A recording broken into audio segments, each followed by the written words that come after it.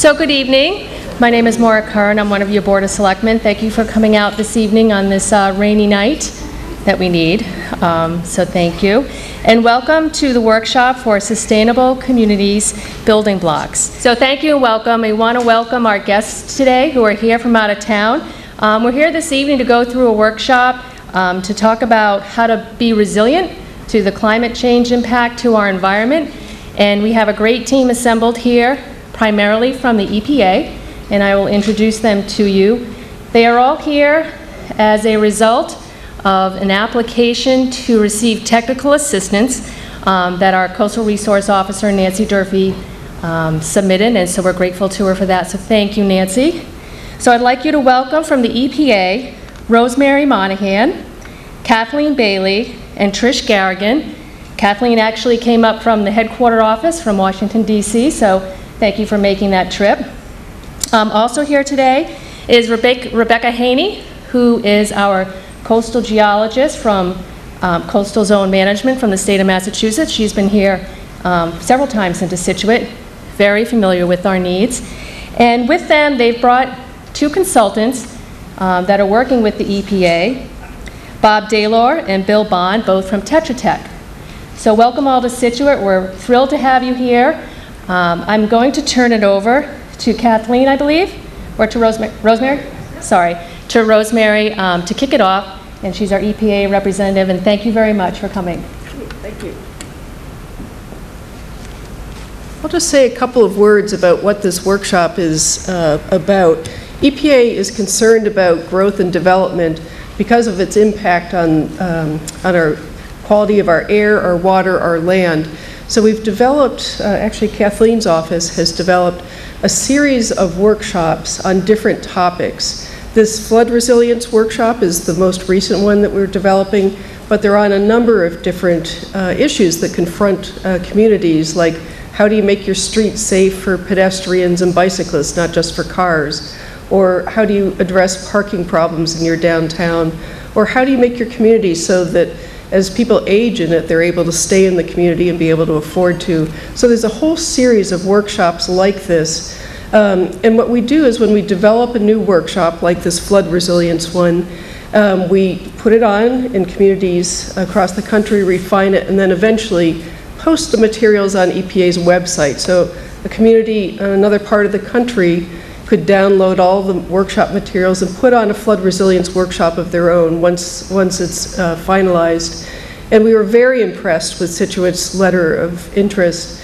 I think there were about 100 or 120 communities around the country that applied for the flood resilience workshop, and we're only doing this workshop in five communities, including Scituate.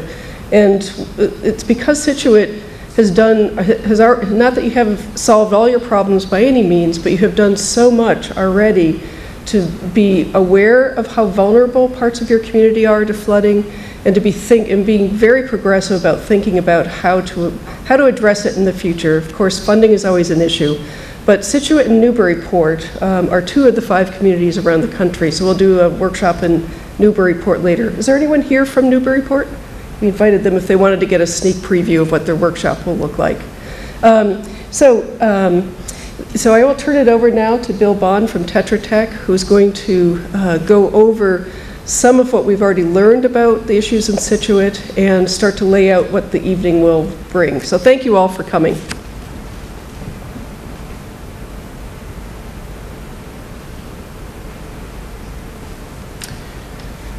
Thank you, Rosemary. Um, Today, uh, we're going to talk uh, a little bit about uh, flood resilience uh, in the community. Um, As Rosemary mentioned, uh, what I'm going to do is uh, talk a little bit about um, the process that we're going through right now with this project.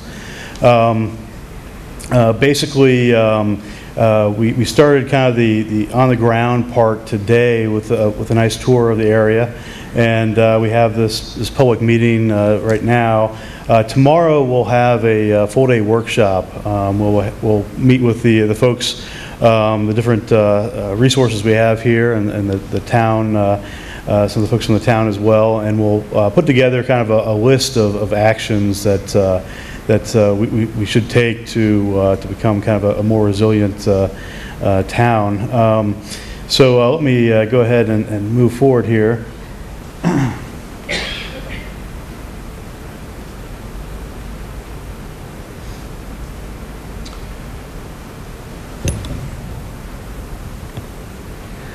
Let's see if I can make this a little easier on myself.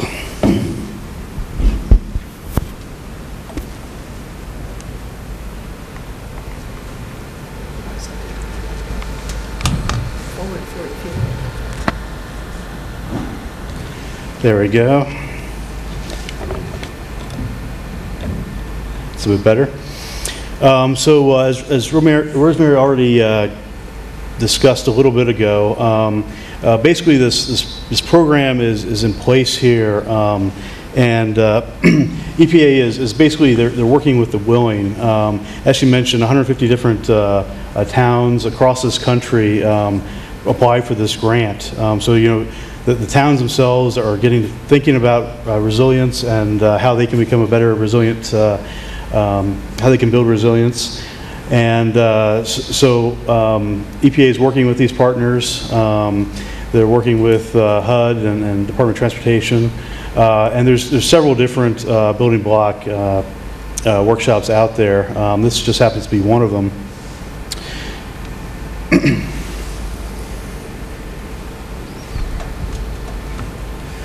Um, So we have big challenges. Uh, You know, we went, went around today and, and, you know, whenever we're looking at uh, flood resilience and uh, uh, what, what towns are facing, um, there's, there's big challenges. Um, And, you know, that's, that's across the board. Whatever, you know, community I'm, I'm I'm visiting, um, we, we see what challenges they're, they're facing. Uh, Everyone has limited resources. Um, And how can we prioritize things and how can we make our, our community safer? Um, How can we, uh, um, uh, you know, make it uh, basically uh, more sustainable? Um, And, and so those are some of the things that we're going to, to talk about today, are some of those challenges that, that we see um, here in, in Scituate. So this technical assistance, um, basically, um, what we've done is, we've broken it up into kind of three major steps here uh, from the slides. So you might be able to see that the assess, convene, and next steps. And so before we came here uh, this week, we basically took some time to assess uh, what was going on, and I'll talk about that in just a few minutes. Um, But we had the town fill out a self-assessment, so they kind of went through and they, they told us what was already in place. Um, They told us what they're doing currently. Um, They talked about what was currently going on. Um, And uh, we took all that information and uh, we, we looked at um, some of the gaps, so, so what are some areas where they haven't uh, either looked at or um, they, they, uh, they, they started to look at and maybe need some more assistance. Um, And so we had a couple of coordination calls where we sat down with the, uh, the town and uh, some of our our resources, and we talked about um, the assessment and some things that, uh, that we can, uh, we- we can, um, some of the gaps in that assessment. Uh, So uh, we did that assessment process, and uh, we basically have kind of a a library of best practices across the country. Uh, So, you know, what communities are currently doing in different parts of the country. Um, and uh, we, we take a look at that. Uh, We also create our own customized um, kind of best practices for this particular community, because in some ways they are, um, they're doing a lot already, um, and we'll talk about that later on. Uh, So today we had a tour, so we got to kind of go down, we started from the north and went, went down the coast. Um, And uh, we looked at uh, some of the things that are currently going on. Um, So I'll, I'll talk about that uh, later here. Um, So our community meeting is going to, on today. We're basically going to, uh, to talk about resilience a little bit here and, and some of the, uh, um, some of the challenges that we've identified. Uh, But we want it to be, we want to hear from you all as well, okay? So it's not just going to be me talking up here about, you know, things you already know, um, the issues you already know. We want to hear from you as well. Um, Are, are the issues that I'm talking about tonight um, real for you? Uh, Do you have other issues that you want to bring up? Um, And we'll have some time um, at the end to kind of go into, into groups, and uh, you can provide us with some feedback um, so that we can better um, uh, customize the workshop tomorrow. Okay, so, you know, if you're reinforcing some of the things that I'm going to talk about this evening, that's great. Happy to hear that. Um, If there are other things that we haven't thought about, you know, feel free to bring that to our attention as well.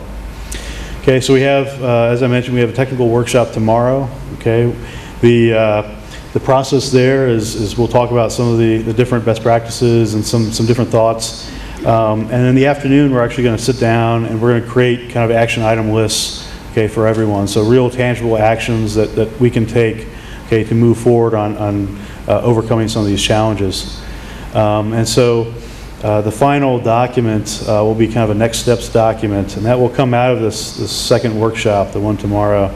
Um, So we'll take a look at all those uh, challenges and uh, different ideas and the actions um, that that come out tomorrow, and we'll put together that, that, that final next steps, steps document, um, which is going to detail kind of who's going to do what and the time frame and that sort of thing. Um, So that's, that's kind of the, the three major areas of this technical assistance for this project. Okay, so, so why are we here today? Well, um, as was mentioned, we, we did get a, a letter um, from the town um, requesting technical assistance. You can see it there on the right. Um, The, the the letter itself mentioned um, several coast- coastal issues um, that, uh, uh, that were going on in, in in the town. Uh, There's, there's a lot of properties that were damaged that we'll, we'll take a look at. There's uh, large insurance claims, large volume of insurance claims here in the town.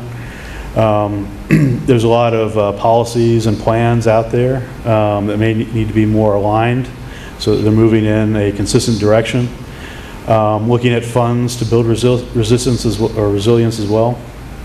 Um, And then uh, we're also going to look at empowering next steps within the community. Okay, so uh, this evening, what I'm going to cover is the uh, flood resilience, uh, kind of the, uh, a little definition of that, and the checklist as well. So I'll talk about um, what we found in that checklist, a self-assessment is is basically what that is. Um, And, uh, you know, there, there are many, many things that the town is doing already, and we'll, we'll talk about those a little bit, and then some chal- challenges as well. Um, You know, what can we do to, to, to make things go better? Um, So you see here, um, some, some damage uh, that uh, has occurred uh, within recent history um, uh, to the area. Um, So we, we got to look through several uh, different um, storm events that have occurred um, in the town. So we looked at some of the damage to the the areas in the coast, as well as some of the the areas uh, in other parts of the floodplain. And so, when we talk about resilience, you know, if I ask uh, everyone here what resilience is, I'd probably get uh, 50 different answers. You know, everyone kind of thinks of resilience differently. Um, You know, depending on what your background is, uh, depending on uh, how you may have heard it in the past. Um, So it seems to be a pretty, uh, uh, pretty hot topic. Um, But, you know, going back to kind of the root of it, um, you know, we're talking about springing back, and actually, uh, springing forward is, is something that I, I prefer to say. Um, you know, for years, we talked about, you know, after disaster, getting back operational as soon as possible. Um, but, you know, really, if we can come back and, and put ourselves in a better position than, than before the storm, um, you know, that's really what we want to do. Um, you know, sometimes these storm events, they, um, they're pretty devastating. In some situations, they can, they can provide opportunity, but uh, we want to actually spring back or- and spring forward, um, rebound from the event, uh, not only quickly, but, but in a, in a kind of a smart fashion. Uh, So, you know, think, think about absorbing shock. A lot of people think about absorbing shock when they say resilience. Um, uh, Again, you know, responding, recovering quickly. Uh, We don't want to be um, in a in a shelter for, for, for a long period of time. Um, Adapting to a changing environment as well. You know, as we start to do develop, development, um, we're we're changing the, the the built environment, and that actually changes um, how we get flooded. Um, You know, if if you have a lot of uh, uh, surface out there and the and the water can't, can't drain, um, you know, areas that might not have been flooded in the past are going to be flooded in the future. Um, you- We can see from uh, from from sea level rise as well. Um, You know, areas that- that that may not have been flooded in the past. Now, if you have uh, a high tide, you might be getting flooding um, today or or tomorrow. Okay, so we have this kind of changing environment as well we have to, we have to consider when we start to look at resilience.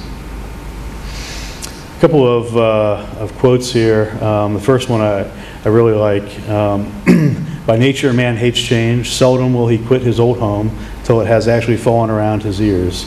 Okay, I see that, uh, you know, kind of across the country. It's, it's really hard for, for people to change. Like, no one wants to change. I don't want to change.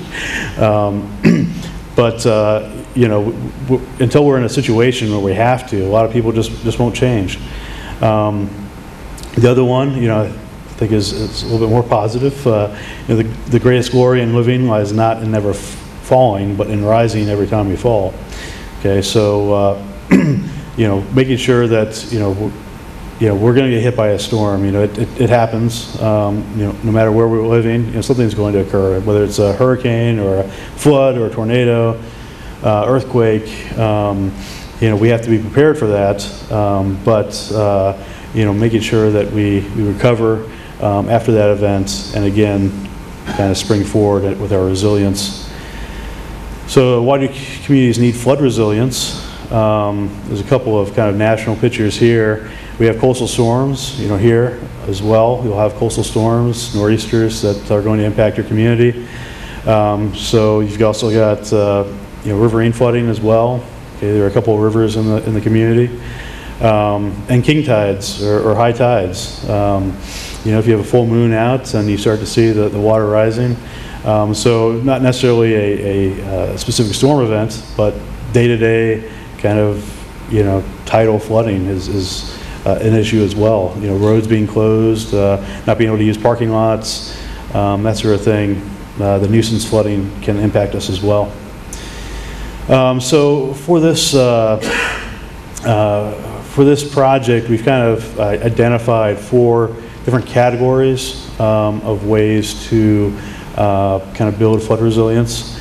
The first one is conserving land, discouraging development. Okay, so how can we, after we've identified where the problem areas are, uh, flooding, the the floodplains, um, you know, how do we take that land and and do something nice with it or good with it? Um, It doesn't involve, um, you know, putting a house there or, or some development um, that's going to be impacted. Um, And, and, you know, really, I think floodplains have kind of a- this, this bad rap, rap, you know. When I say floodplain, a lot of people just kind of, they kind of tense up and they, they get kind of irritated. Um, But, you know, floodplains are, are a natural occurrence. I mean, they, they're there. Um, You know, a lot of wildlife considers home. Uh, You know, it can be a, a very positive thing, um, you know, basically the, the way that you, you you plan around it. Um, You know, people will put parks in, in the floodplain, there might be some bird watching or something like that. Um, So there's, there's different ways that we can kind of conserve land and and discourage development. Um, Also reducing risk to people, buildings, facilities. Um, So, eh, you know, infrastructure is already in the floodplain or uh, in, in an area that's impacted. Um, You know, these, uh, these structures, there are some things that you can do to the structure to, to reduce the, the impact to them. Uh, And, and I can see this throughout the community. I can see people elevating their, their structures um, all over the place. Um, The other one is planning for and encouraging development in safer areas. So if you've identified a safer area, um, you know, how do we encourage development there? Are there ways that we can um, get people to think about, okay, well, I'm not right on the beach, but maybe I'm in this other area that's not so bad because there's X, Y, and Z there um, to, uh, to- help me, uh, you know, encourage me to, to move there and to live there. Um, So there's different ways that we can um, encourage development in those areas as well. Okay, and then also looking at uh, stormwater management techniques. Um, So are there things that we can put in place so that we don't have this, this constant flood, flooding issue, maybe nuisance flooding, this drainage issues, um, where we have, uh, you know, parts of, you know, road or, or, um, uh, you know, sidewalks or driveways underwater, um, uh, or or sewer systems, you know, what- what, what can we do to, to help um, um, with the stormwater management? So those are kind of the four major categories that we've uh, created for this uh, process. Um, And you'll see that uh, a lot of the uh, resilience techniques um, that are discussed are kind of in these four categories. There's different ways that you can categorize them, but this is the way that we've chose. So the, uh, the flood assessment, um, basically, we gave the town this, this uh, document um, to, uh, to help um, kind of figure out what was going on in, in the town in terms of, you know, what plans, policies are in place, um, what's currently being done in those four categories I just mentioned. Um, So, so we, we took a look at the, the, the community um, kind of holistically, you know, we, we looked at a lot of different things. There are many questions that we asked. It wasn't just this one page that I've got up there. Um, And so uh, we wanted to, to, to kind of figure out kind of what was going on because we don't want to spend tomorrow going through stuff they're already doing. You know, I can go around the community, I can see, you know, they're using grant money to elevate homes. You know, I don't, obviously, you know, this community is, is pretty well educated there. Um, So, uh, so this helps us to figure out how we should uh, um, adjust the, the workshop on the second day to, uh, to better uh, figure out, um, prioritize the areas we need to, to discuss. Um, And, uh, you know, we, we went through this this self-assessment. Um, You know, we got some, some great information out of it, uh, and I'm going to talk about that here in the next couple of slides. Um, You know, this town has, has a lot of plans. Um, You know, you've got uh, there, you've got your hazard mitigation plan that's currently going on, it's being updated. Um, If you're not uh, familiar with that, it's actually, the process is going on now. There are public meetings associated with that process that you can get involved with. Um, This is the plan that uh, the- the, the town basically says, this is where we want to mitigate, okay? Um, It's a public document, you can get it off the website, Um, you should be involved in the process. Um, As I mentioned, it's currently being updated. There's not a lot of towns in the state that have mitigation plans, okay? So it's, it's a big positive. And the fact that they're updating it and, uh, and are going to be using some of the, the updated information is, is also a good positive. Um, You have uh, uh, different coastal plans out there, you have a master plan.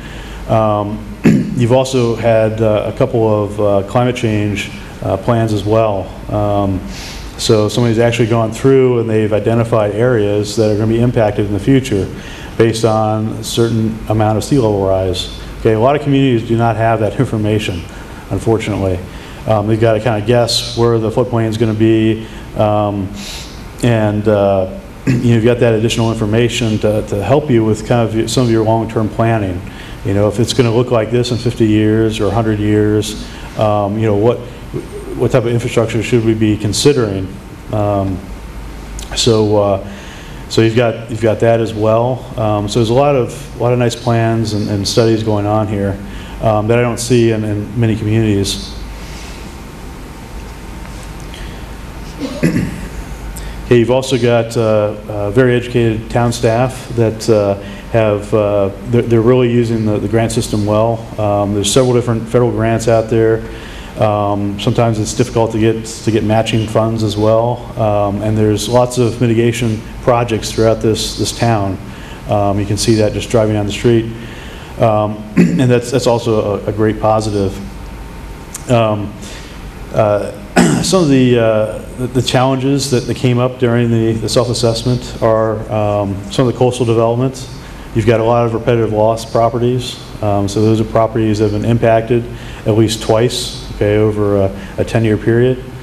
Um, So uh, if you look at the the maps and look at the repetitive loss properties, there's there's hundreds and hundreds of them. Um, I think there's over 500 in this, in this town alone, which is, I think, about a quarter of, of all of Massachusetts. Um, So you've got a lot of repetitive loss properties. There's also something called uh, severe uh, repetitive loss properties, and those are been damaged even more. Um, You also have uh, issues with septic systems, okay, we, we saw some of that as well. Um, A lot of your, uh, the residences on the beach do have septic systems, um, and when the storms come through, um, that, those areas get, get eroded and and get uncovered, and uh, you're looking at your, your septic there. Um, Some, some seawall concerns as well, so uh, um, although some of the seawall is, is being um, um, updated. There are some, some issues with with cracking. Um, There's also, from the picture there, some adjacent properties, right next, right basically on top of the seawall in a couple of locations. Okay, you also have uh, some flooding at high tide um, as well. Um, Some of the parking lots flooded in, in certain areas. Um, uh, So, so that was, uh, was also um, an issue that was brought up.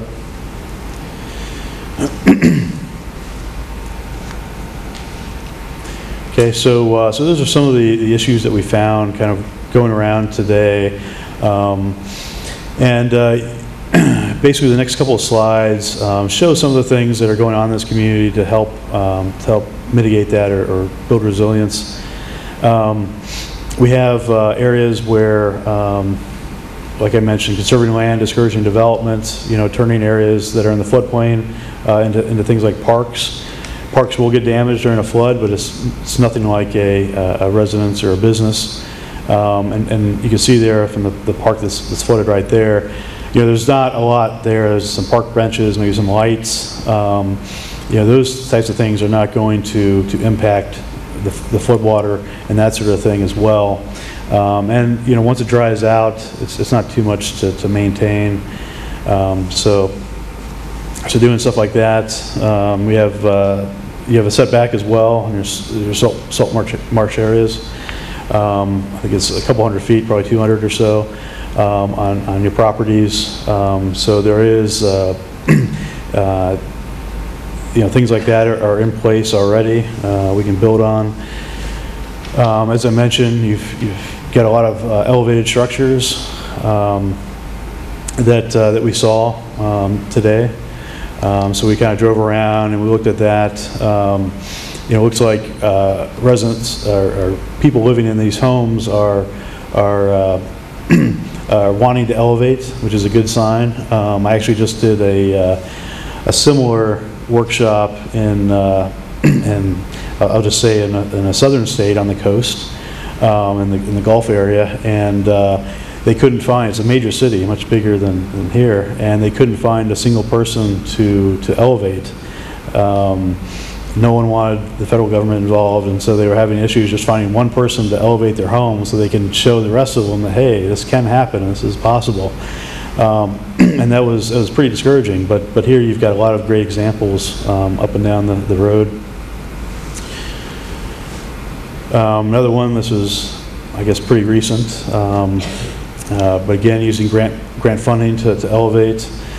Um, Looking at beach nourishment as well, we looked at a site um, where uh, the, the town received uh, funding to, to do some beach nourishment uh, in a public area. Um, Also that, you've got a big seawall in the background as well. Um, You know, it's, it's a big piece of infrastructure, it's very costly, um, and that's, that's, that's there. Um, As I mentioned, the, the the different plannings, you got your, your zoning uh, as well, and we'll, we'll talk about that more tomorrow, but, um, you know, there, there are um, techniques that can be used with, uh, um, uh, using zoning. Um, So you've got your, your zoning map there, um, as an example. Okay, you also have different uh, regulations in place. Um, Wetland protection rules and regulations are, are one of those, okay, that the, the town has and they can use. Okay, there's also stormwater management techniques that can be used. Um, That's just an example of uh, uh, a way to get the, the water, go- instead of having just this big impervious surface, you've got a way for the water to drain through. Um, It looks nice, okay, it's not just a big uh, sidewalk or piece of concrete. Um, And there's, there's other things that can be done as well, pervious surfaces um, that, uh, that help with stormwater management. Um, You've also got a uh, uh, stormwater ordinance here in in this particular town. Um, So, um, there's a lot of, lot to work with in this, in this town, um, and uh, it's, it's pretty exciting. Um, We've got, uh, as I mentioned, the, the workshop tomorrow, uh, where uh, basically we're going to to bring up some best practices for kind of each of these four categories, um, different uh, places around the country that have done and implemented different, uh, different things, um, using different techniques. Um, But uh, uh, basically, today, what we want to do is get feedback from you all, you know, what are your issues um, here? Um, in this town. And uh, what we plan to do is basically break up into groups. Um, Looks like uh, we've got enough folks, we we basically have planned it out for, for about four different groups. Um, We've got some tables here, my left and right. We have two tables in the back as well. Um, I would ask maybe some of the folks who have mobility issues, maybe uh, if if the rest of you can save those tables up front for them. Um, What we want to do is uh, basically break up into groups, and we've got some, some maps that have been developed by different programs. We have maps um, that uh, uh, basically show different vulnerable areas. We have maps for the, uh, from the sea level rise study. We have maps from uh, coastal zone management um, here as well that show uh, some of the, uh, some of the issues in the, in the community. Um, And, uh, and basically what I want to do is we'll, we'll break into groups. Um, We'll have, we'll try to make it somewhat equal. Um, And what we want to do is basically hear from, from you all. Um, We want to hear um, what your issues are. Um, Have we touched on any of those? Um, If you have other issues, uh, you know, what are they? Um, Again, we want to focus on, on, you know, kind of dealing with the- the flood situation. Um, You know, whether that's, uh, that's from the coast, the coastal storms, or whether it's from high tide, you know, all that, that information. We do have some, some maps that help kind of guide the process. Sometimes people, when they see the map and they can see their home or their business, it helps them think about, you know, how they can, uh, uh, you know, kind of what's going on in their community, and they can help kind of relate it better to us as well, or relay it to us. Uh, So we kind of know what, what situation they're dealing with. Um, So, uh, so basically what I want to do for kind of the rest of our, our time is to uh, kind of go through, um, we'll break into groups. Um, We'll spend about, I don't know, 45 minutes or so, 30, 45 minutes, 45 minutes um, in groups. Um, We'll have a facilitator each, at each table, kind of taking notes, and we'll have maybe some sticky, sticky notes that uh, you take notes on. Um, So we'll work in those groups, and then we'll kind of come back together at the end. And uh, what I want to do is kind of do a debrief on each of the groups and and what they've decided are their major issues. Um, And that will help us to better plan for tomorrow. Okay, and again, we'll have that next steps document where we'll talk about these issues that we identified today and tonight, uh, and actions uh, that we can take to, to help address those.